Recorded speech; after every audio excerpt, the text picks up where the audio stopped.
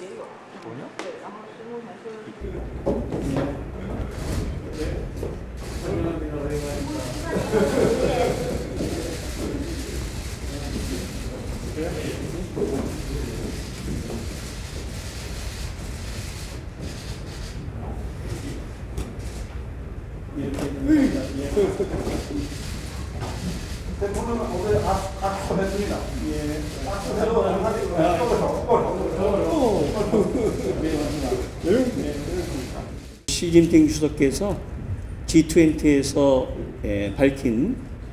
예, 지역주의를 넘어선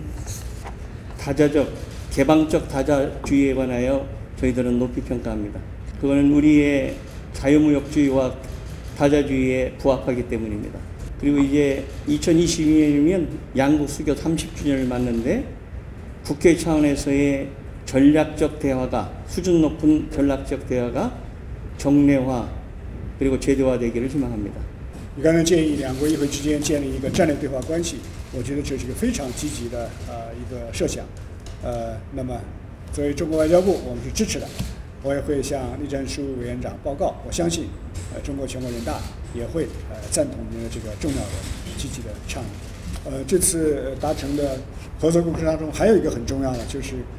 呃，我们同意，呃，中韩之间成立一个呃韩中关系未来委员会，那么集中两国各界的精英来共同探讨未来三十年的中韩关系的发展蓝图。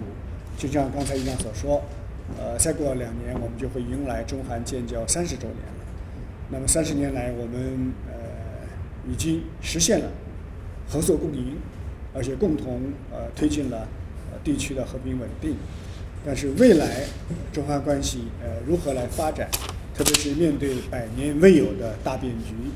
呃以及国际格局的加速的调整，那么中韩应该为这个地区和世界做出更大的贡献。我们希望议长先生也能关心这个未来委员会的运作。那么我们应该找到并且确定，那么今后中韩关系的一个发展的方向，将从一个全球的视野